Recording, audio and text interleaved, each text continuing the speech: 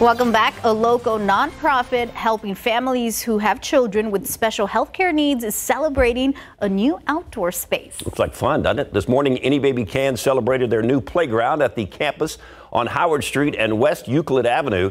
This safe space for children, possible thanks to the Rotary Club of San Antonio.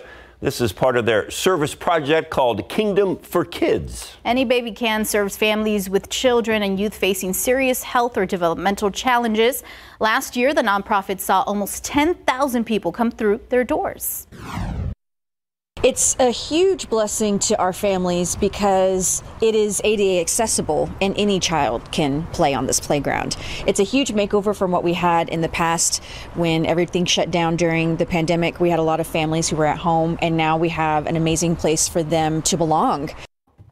The nonprofit also provides grief counseling and financial support to families.